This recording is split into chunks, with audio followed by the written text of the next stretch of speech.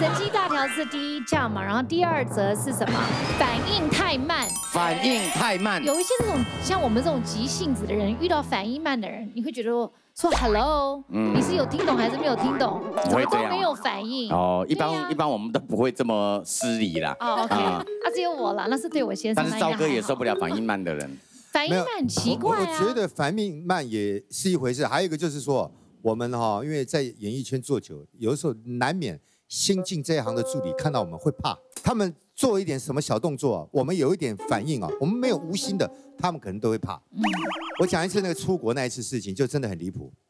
当天讲好早上七点要到我家来接我，八点才来啊，迟了一小时，飞机几乎就是要很开很赶的嘛，哦。基本上从我家到那个机场，速度开得飞快，嗯，都走路肩呐。你看他已经要求哦，因为那个你都走路肩，基本上那个罚款就不得了，那连续被被抓被罚就不得了。对，我就已经很不爽了。好不容易，因为你走路肩比较快，到了。因为我跟你讲，早上七点多，全部的人都在等你，你好像搞得像张文琪，不是，没有。那一天因为是拍戏，所以是只有助理跟我，他不是跟剧组，那还好。所以。在走那个走那个路肩的时候，我就已经很不爽了，因为这如果被警察抓到。警察还要在盘问，还在开罚单，那都拖时间把你训一顿呢。对啊，你身为公众人物，你懂不懂社会责任？新闻呢。做一个最坏的示范，滚！我们从我们我们从讲一下，你你不需要把所有的私欲、私仇全部 都这个都冒在我身上。我知道你对我不满，我都知道。走路间，然后保湿加隔离，然后对，然后 到了机场，我就终于有点不气了。为什么？可是时间几乎就是。来不及了嘛，就大概离那个闸口要关了，大概剩不到十分钟。哇，好，那因为我是商务舱，没差，我就赶快拿我的护照要办，办到他的不给办了。为什么？哇，护照皮跟护照分开的。哦，我说什么意思啊？怎么会这样？小姐说，赵赵先，这这位就是同行的这女生啊，她的护照皮，护照其实护照跟护照本是可以分开的，照理说是不可以的。对，可是分开了，分开怎么办？我也不知道怎么办，那变成我自己背，不可能啊！所以我就说现在怎么办？一般只是想到说，那赶快把它粘回去，粘回去啊！机场怎么粘？机场，机场应该有胶带。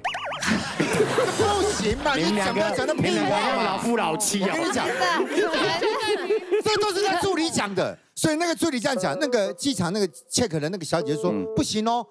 我们不能这样放你出去，因为你这个等于是破损毁的，对，破损到底怎么都不行。破损的 passport，我听到我就快疯了。我说那我现在不进去不行，再怎么样我都要走。你可以不走，可是我如果走，今天走进去的话，你也不用干。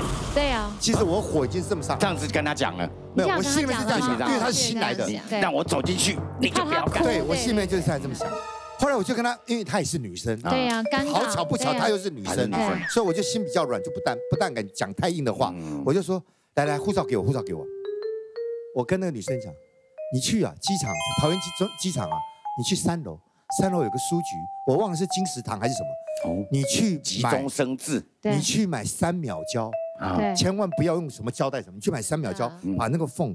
粘起来，试试看。执行制作，对，又回来了。有有 你就干，没有就算。我说我不能等你，我要进去了。对，因为我真的要进去，飞机要飞，所以我就进去。我只记得啦，我只记得我进去的时候，舱门要关的时候，就听到外面有个女生喊：“等一下！”哦，进来了。哦，进来了。他等一下的时候，他有敲鼓吗？然后六月也下雪，窦娥冤。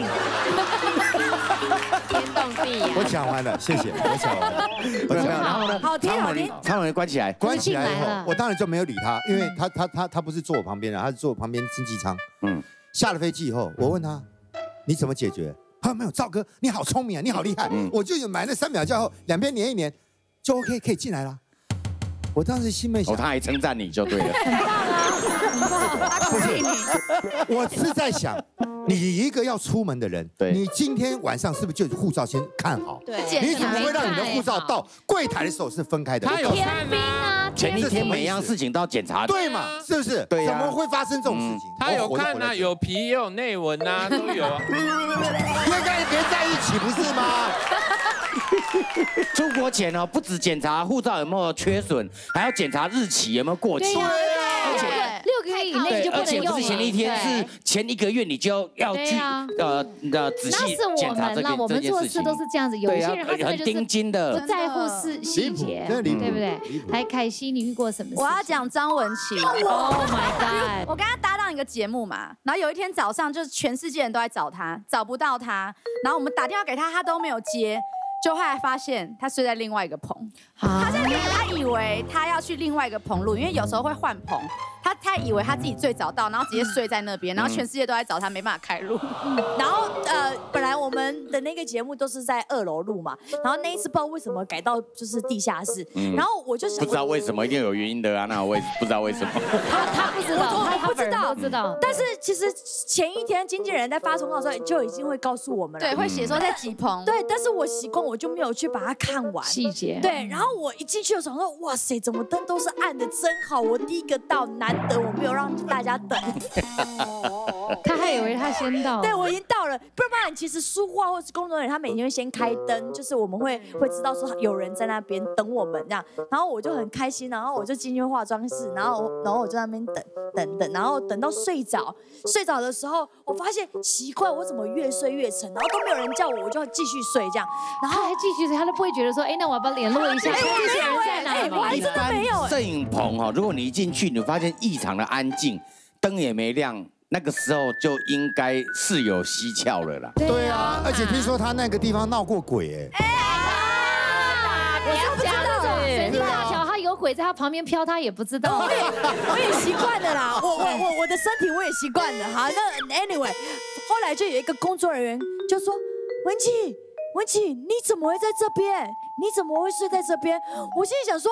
啊，不是录影的。我说，哎、今天是比较晚到，还是我太早到了？他说，没有，今天是在下面录影，只有你一个人在这边。然后我说，真的假的？所以我已经迟到。我说，嗯、对，而且大家都在等你。我天哪！我那个时候我才知道说，我已经是一个人，我我不知道我就是没有那个在我对。你要讲什么？你确定跟你讲的那个人是工作人员？你确定？只有他看得到。对啊，你确定？那么而且你后来去个工作人调查，发现整个华视根本没那个人。没有人，后来老一辈的华视人调查出来的，有有那个人二十年前就过世了。有啊面孔好。没有，我跟你讲，后来那个工作人员怎么知道我？因为二楼就是画那个道具间，是他们上来二楼发现。我睡在那边，然后再跟通告的人讲说，他发现我睡在那个地方，所以那个通告才跑上来好说诡，异哦！对，哎、文琪你走？而且那个他还怕吵到我，所以他还很小声，嘿，文琪啊你怎么在这边？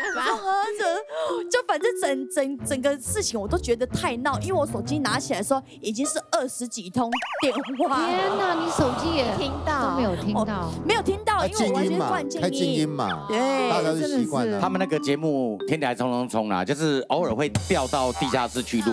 我有一次也是这样子啊、出了一件糗事，我们就直觉以为在二楼嘛，我就跑去二楼，那氛围不太对，我想说是不是换了一组那个制作团队了啊？啊，我们去就是呃坐下来就准备书画了嘛，然后就有人哦，因为一般书画人员看到艺人坐下来，他也不管是谁，他就给你画了嘛，越画越奇怪，我开始隐约觉得我的妆好像比较像歌仔戏。